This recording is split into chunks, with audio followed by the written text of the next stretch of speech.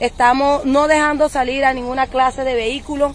Acá estamos con mis compañeros, como les quiero presentar, de que no vamos a dejar ni ingresar ni ni que salga ni que entre ninguna clase de vehículo, ni en moto, ni en carro. A partir de las cero horas queda todo paralizado. Con la notificación del primer caso de COVID-19 en el Cesar, exactamente en Baidupar, municipios del departamento decidieron bloquear las vías de acceso con el fin de impedir que el virus llegue a los territorios. Desde el sur hasta el norte, alcaldes utilizaron vallas y la fuerza pública para concientizar sobre la importancia de quedarse en casa, no desplazarse, acatar el aislamiento social obligatorio y prepararse para la cuarentena y ayudar a no ser propagador de esta enfermedad que suma el cierre de esta edición de CNC Noticias Bayupar de 277 casos casos positivos en Colombia. Estamos en este momento en todo el cruce del municipio de Pueblo Bello con la vía nacional en el sector denominado como el Sanjón.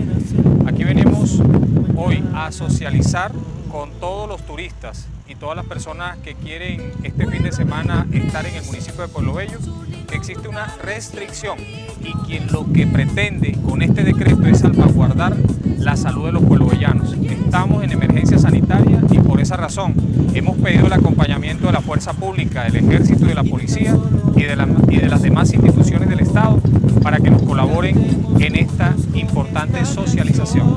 Necesitamos el compromiso de ustedes. Este fin de semana, quédate en casa.